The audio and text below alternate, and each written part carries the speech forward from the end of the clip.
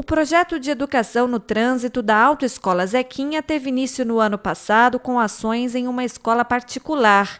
Com estudantes do ensino fundamental foi desenvolvido o Pé na Faixa. A Marina, de apenas 8 anos, aprendeu muita coisa com jogos sobre as regras de trânsito. Ah, eu gostei muito porque eu aprendi no projeto os erros das pessoas e os erros do trânsito, com pessoas, pedestres, né, que não atravessam na faixa, carros que não dão seta para estacionar, pessoas que furam sinal, pessoas que vão na contramão, pessoas que não usam o cinto de segurança. O projeto Pé na Faixa foi o primeiro projeto que a gente realizou desde o ano passado.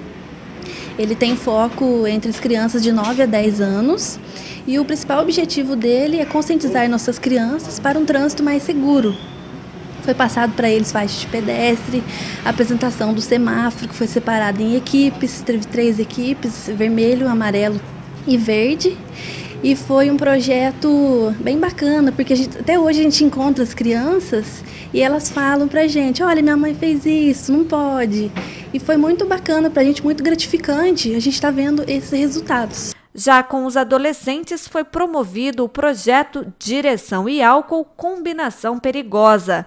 Os alunos produziram redações sobre o tema e a dona do melhor texto ganhou uma CNH. O principal foco dele foi a, os adolescentes né, de 15 e 18 anos, que foi muito importante para eles com o tema Álcool Direção Combinação Perigosa, para eles refletirem antes de pegar um carro alcoolizado, né, para evitar acidentes e formar condutores que estão próximos dos 18 anos a serem mais conscientes.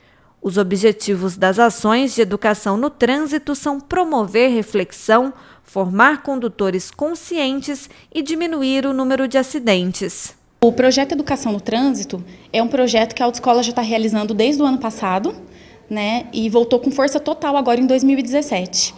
Então, nós estamos desenvolvendo esse projeto com o intuito de orientar as crianças e os jovens.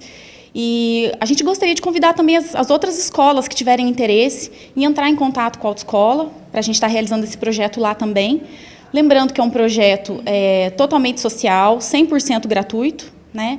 com exatamente com esse objetivo de orientar, educativo. Eu aprendi bastante coisa já e meu pai também me ensina bastante coisa.